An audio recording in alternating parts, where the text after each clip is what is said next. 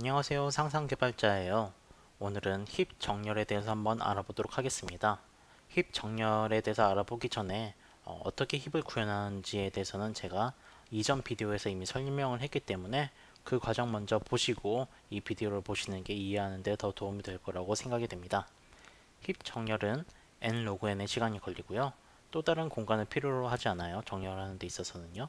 어, 그 과정 여기서 한번 제가 보여드리도록 할게요 여기 max heap에 대한 예제가 있습니다. 어, 알고리즘 보시기 전에 혹시 파이썬 코드가 궁금하신 분은 여기 제 GitHub 가셔서 직접 소스를 보실 수 있어요. 자, 어떻게 이 heap, max heap을 어, root가 가장 큰 값이고 parent가 child보다 다 크죠. 6가 4, 2보다 크고 뭐 5가 어, 1, 3보다 크죠. 즉 이 트리는 heap tree입니다. 이 heap tree를 한번 정렬을 해보도록 할게요.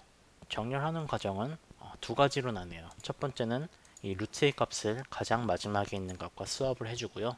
그 다음에 이 root를 어, sift down 해주면은 이 heap tree가 정렬이 완료가 됩니다.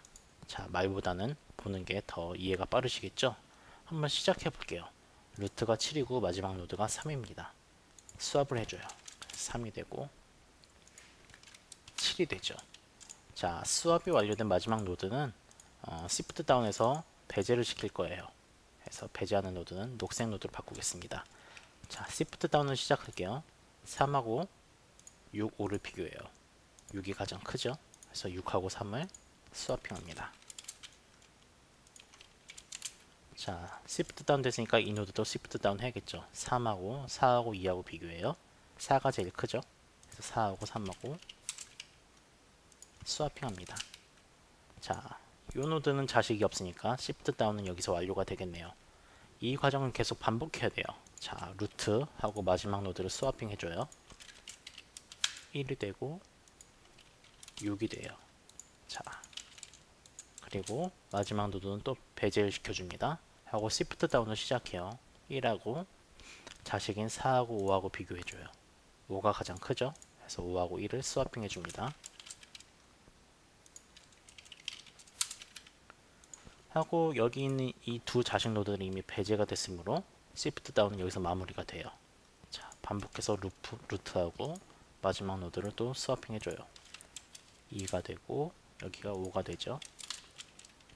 마지막 노드는 shift down에서 배제를 시켜줍니다. 그래서 자, 이 루트 shift down 해줘요. 2하고 4, 1을 비교해요. 자, 4가 제일 크죠? 그래서 4가 루트로 올라가고 2가 shift down 돼서 내려옵니다. 자, shift down 됐으니까 이 노드를 다시 자식 노드 3하고 비교해요. 5는 끼지 않습니다. 이미 배제됐으니까요. 자, 3이 올라오고요. 2가 내려갑니다. 2는 자식 노드가 없으니까 shift down은 여기서 마무리가 됩니다. 자, 루트하고 swapping을 해줘요. 여긴 4가 되고 여긴 2가 되겠죠? 하고 swapping된 노드는 배제시킵니다. 자, 2하고 3하고 1을 비교해요. 3이 가장 크죠. 3하고 2 swapping 됩니다. 2는 자식 노드가 없죠. 얘들이 이미 배제가 됐으니까요. 자 하면은 또 shift down 여기서 마무리가 됩니다. 루트 노드하고 마지막 노드하고 swapping해요. 1 3 배제시킵니다. 1하고 2하고 shift down 해주니까 2가 더 크니까 2가 위로 올라오겠네요. 1이 됩니다. 자, 루트하고 마지막 노드 swapping 시켜줍니다. 1, 2 swap했으니까 마지막 노드는 shift down에서 배제시키고 현재 이 노드는 이제 자식 노드 비교할 수, 대상이 없으니까 어, 그대로 shift down은 여기서 종료가 되죠. 루트까지 왔네요. 즉 어, heap sort 과정이 마무리가 됩니다. 볼까요? 1, 2, 3, 4, 5, 6, 7 정렬됐습니다. array로 보면은 array 인덱스 0이 1인 값이고 인덱스 어, 6인 값이 7 완벽하게 작은 값부터 큰 값으로 정렬이 됐네요.